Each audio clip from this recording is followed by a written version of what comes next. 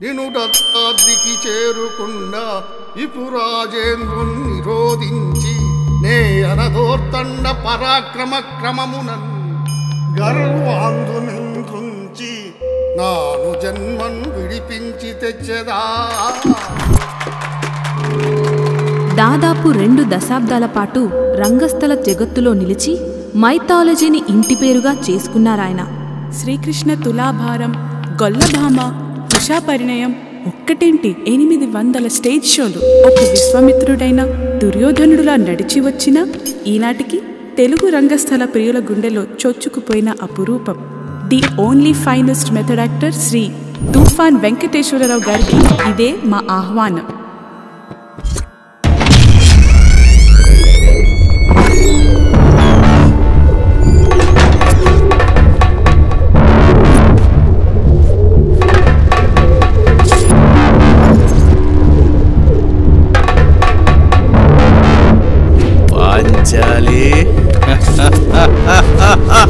I will see your end.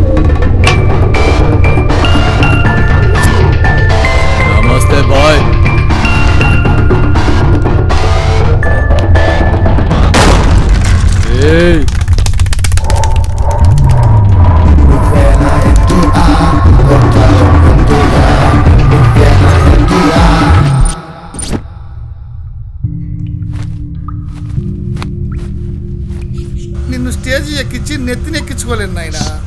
ఎర్రగా బుర్రగా ఉంటే సరిపోదమ్మా. సరస్వతి అనుగ్రహం ఉండొద్దు. పోనీరా కనీసం ఒక్కసారి పెద్ద ఎంత కల్పించండి సార్. బ్రో నీ ఇలా కొత్త వాళ్ళు పరిచయం చేస్తా పోతే నన్ను కూడా అవాయిడ్ చేస్తాడు పెద్ద ఆయన? టచ్లో ఉండు స్వామి. మేడం కనీసం ఈ ఫెస్టివల్లో ఉన్న ఒక్క అవకాశం ఉంది మేడం. ఎలాంటి ఎలాంటి వాళ్ళతో ఆర్గనైజ్ చేశాం మేము? అసలు నీకేం ప్రొఫైల్ ఉందని?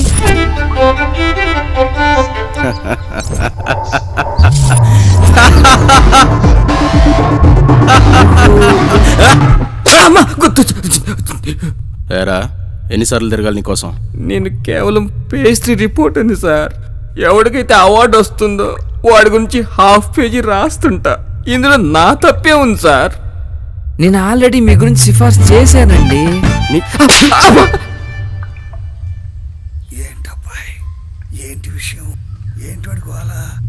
అదే సార్. అప్పుడెప్పుడో నేను ఎన్టీఆర్ లాగా స్టేజ్ పర్ఫార్మెన్స్ చేస్తానని అంటపడ్డాడు కదా. ఆడే వీడు.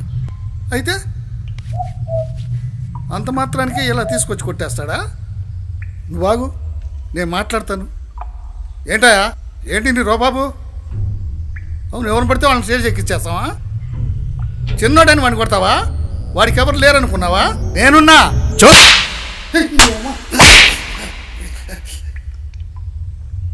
చాలా సిన్సియర్గా ట్రై చేస్తున్నట్టున్నాడు. ఆ కళ్ళల్లో ఆ సిన్సియారిటీ కనిపిస్తుంది. నీ వెనకాల అలా తిప్పుకోకపోతే ఒక్కసారి నాకు ఓ మాట చెప్పొద్దు. అవకాశం ఇచ్చేవాళ్ళం కదా. ఇంకా జాలే సోది తిరుగు. వదిలితే ఏరా ప్రతి సంవత్సరం నీదేనా అవార్డు? నువ్వేమన్నా వీళ్ళ ఆస్థాన కళాకారుడువా? ఇంకెవ్వరిని రానివా చూడు అవకాశాల కోసం అడగలు గాని ఇలా తీసుకొచ్చి కొడతారా? ఇప్పుడు క్లారిటీ వచ్చిందనమాట నాలాంటి వాళ్ళని ఊరించడానికనా మీరు ఈ కళాపీఠం పెట్టింది? మీకు వీడి తప్ప ఎవడో కనబడట్లేదా? కొత్త వాళ్ళని రానీరా. అవును చూశారు. కమిటీ ప్రెసిడెంట్ మీరు ఆవిడ తగులుకోండి. ఆ, నేనైతే ఎవరికి పెడితే వాళ్ళకి ఎలా ఇస్తామండి? అవార్డ్స్?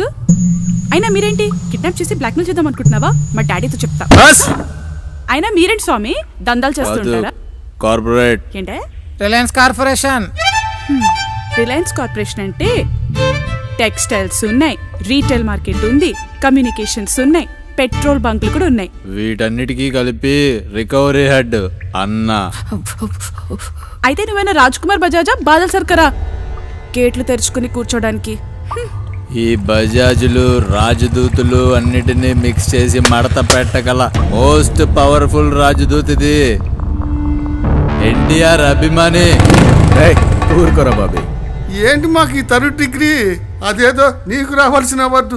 నే తన్నుకు పోయినట్టు నా మీద ఇవన్నీ తీర్చుకుంటావేంటి? అసలు నీకున్న థియేటర్ అనుభవం ఏంటి? ఏది? ఏది? నేను అడిగిన దానికి ఒక్కదానికి సమాధానం చెప్పు. చెప్పండి మామ. థియేటర్లో ఎన్ని రకాలు? Theatres street scope seventy MM IMAX. అందులో థియేటర్ గొంతులో థియేటర్ ఏసీ థియేటర్ ఈ కాదయ్యా నేను అడిగేది. మరే? అసలు థియేటర్ అంటే ఫోకు గద్య నాటకం పద్య నాటకం పరిషత్ నాటకం ప్రయోగ నాటకం వగేరా వగేరా. అసలు నీకు మెథడ్ యాక్టింగ్ అంటే తెలుసా? ఇంప్రవైజేషన్ టెక్నిక్స్ అంటే తెలుసా?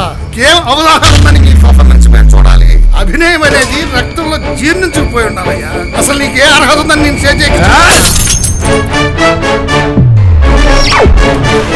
ఆచార్య దేవా. ఏమంటివి ఏమంటివి? జాతి నెపమున సూతసుతని కిందు నిలువ అర్హత లేదందువా? ఎంత మాట ఎంత మాట. ఇది క్షాత్ర పరీక్షయే గాని క్షత్రియ పరీక్ష కాదే. కాదు కాకూడదు ఇది కుల పరీక్షయే ఎందువా? నీ తండ్రి భరద్వాజుని జననమెట్టిది. అతి జుగుప్సాకరమైన నీ సంభవం ఎట్టిది మట్టి కుండలో పుట్టితివి కదా నీది ఏ కులము. ఇంత ఎలా? అశ్వత్ పితామహుడు కురుకుల వృద్ధుడైన ఈ శాంతనవుడు శివ సముద్రుల భార్యకు గంగా గర్భమున జనించలేదా? ఈయనదే కులము. నాతో చెప్పింతివేమయ్యా మా వంశమునకు మూల పురుషుడైన వశిష్ఠుడు దేవవేశ్యకు ఊర్వశీ పుత్రుడు కాడా అతడు పంచమజాతి కన్య అయిన అరుంధతి ఎందు శక్తిని ఆ శక్తి చండాయంగన ఎందు పరాశరుని ఆ పరాశరుడు పల్లెపడిచైన మత్స్యగంధి ఎందు మా తాత వ్యాసుని ఆ వ్యాసుడు విధవరాండ్రైన మా పితామహి అంబికతో మా తండ్రిని పినపితామహి అంబాలికతో మా పినతండ్రి పాండురాజును మా ఇంటి దాసితో ధర్మ నిర్మాణ జనుడని మీచే కీర్తించబడుతున్న హే! ఈ విదురదేవుని కనలేదా? సందర్భావసరములను బట్టి క్షేత్ర బీజ ప్రాధాన్యములతో సంకరమైన మా కురువంశము ఏనాడో కులహీనమైనది. కాగా నేడు కులము కులము అను వ్యర్థవాదమెందులకు?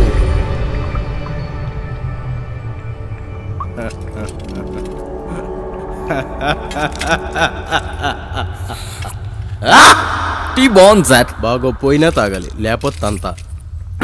అవును తుఫాన్ ఇంటి పేరా? బాబు తుఫాన్ అనే ఇంటి పేరు ఎవరైనా పెట్టుకుంటారా?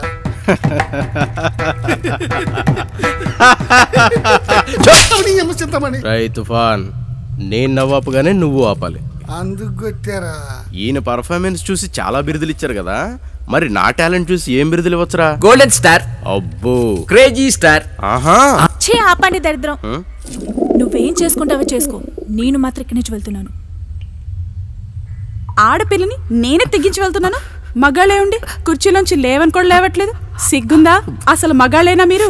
అలా లేస్తామని కింద మేకులేసి గూటిచ్చాడమ్మా. పరువు గీటులో ఫస్ట్ ఉంటావు కదా ఆ, వాళ్ళకి కాబట్టి మేకులు. కూర్చో. కూర్చో! అదే నువ్వైతే నాకేం టైటిల్ ఇస్తావు ನಟ ದರಿದ್ರ All right, all right. Message. All right, all right.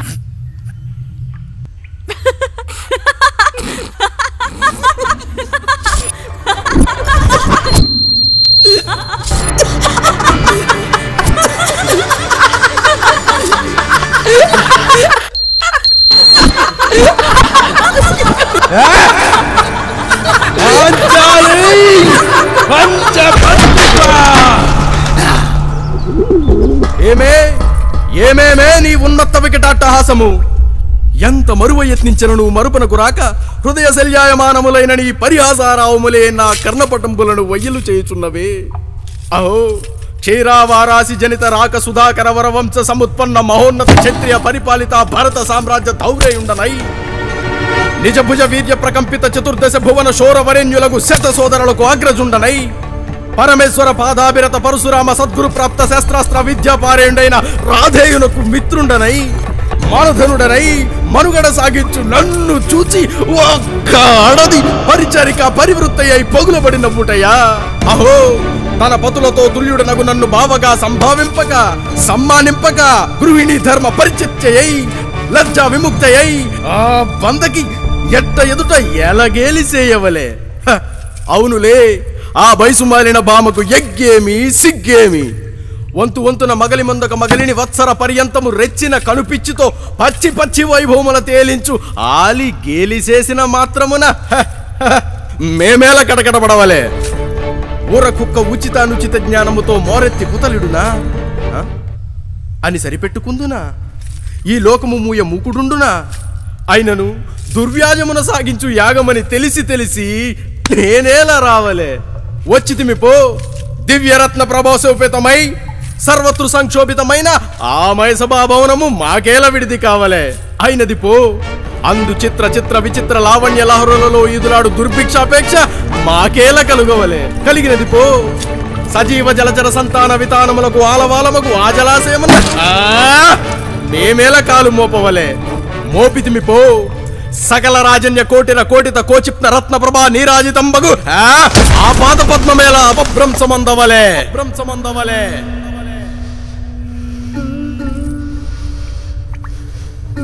ఇలాంటి పర్ఫార్మెన్స్ చూడాలని మా నాన్నగారి కోరికండి. అందుకే మేము వెనకాల అంతలా తిరిగాను. కానీ ఒకళ్ళు పట్టించుకోలేదు. మా నాన్న ఒక మేస్త్రి మేడం. ఎప్పటికైనా నన్ను మంచి నటుడిగా చూడాలని తాపత్రయపడ్డాడు. కానీ ఈ రోజు మీరు నాకు అవకాశం ఇచ్చినా చూడటానికి ఆయన ప్రాణాలతో లేడండి.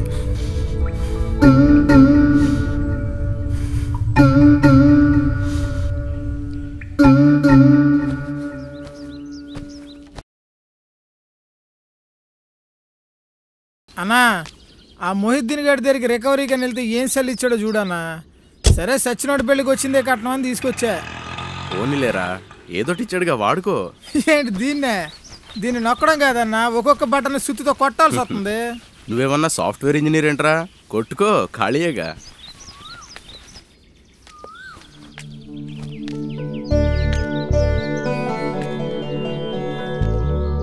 ఏంటి మేడం సడన్గా ఆ, పెళ్ళి కార్డా? ఏది? మాలాంటి వాళ్ళకి అవకాశాలు ఇవ్వరు కానీ పెళ్ళి కార్డులు మాత్రం ఇస్తారే?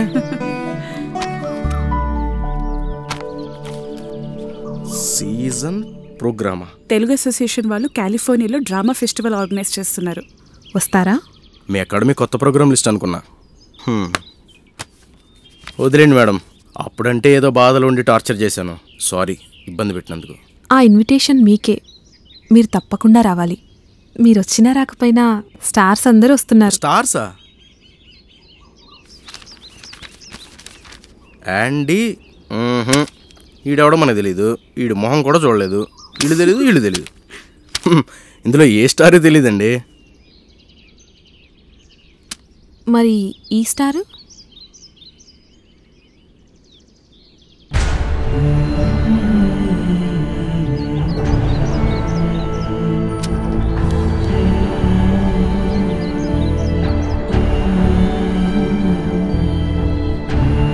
నిజంగా ఇది మా నాన్న చూస్తుంటే చాలా హ్యాపీగా ఫీల్ అయ్యాడు ఆయన ఆఖరి కోరిక తీర్చలేకపోయాను.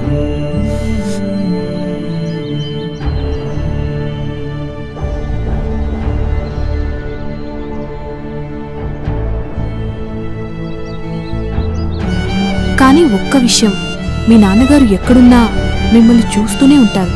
ఆయన ఆశీస్సులు మీకెప్పుడూ ఉంటాయి. ఏమండి మీరు మళ్ళీ ఇప్పుడు కమలాసంలా ఏడ్చేసి మమ్మల్ని కట్టేసి రచ్చ రచ్చ చేయకండి. ప్లీజ్ అండి. రేపు మీ స్టేజ్ పర్ఫార్మెన్స్ బాగా చేయండి. మీ నాన్న మీలో ఎన్టీఆర్ని చూడాలనుకున్నారు కదా? మీరు గెలిస్తే మేమంతా మీలో ఎన్టీఆర్ని చూస్తాం. నువ్వే మా ఇంటి.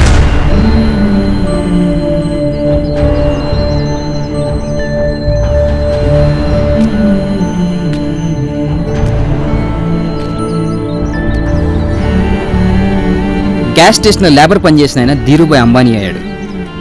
టీ నగర్ వీధుల్లో సబ్బులమ్మిన ఆయన శ్రీశ్రీ అయ్యారు. ఒక పేపర్ బాయ్ థామస్ ఎడిసన్ అయ్యాడు. ఇంటింటికి తిరిగి పాలమ్మిన ఆయన విశ్వవిఖ్యాత నట సార్వభౌముడయ్యాడు వీళ్ళందరూ ఒక రైతు స్కూల్ టీచరు స్టేషన్ మాస్టర్ ఒక మేస్త్రి ఒక గుమస్తా ఇలా మన సీనులాగా మధ్యతరగతి తండ్రుల నుంచి వచ్చిన వాళ్ళే మండే అసంతృప్తితో ఏదో అందుకోవాలని తీవ్ర తప్పంతో రగిలిపోయిన వాళ్ళే అట్టడుగు నుండి జీవితాన్ని ప్రారంభించి ఆకాశం అంతా ఎత్తిదిగిన ప్రతి సెల్ఫ్ మేడ్ హీరోకి మా చిన్ని మోషన్ పిక్చర్ అంకితం.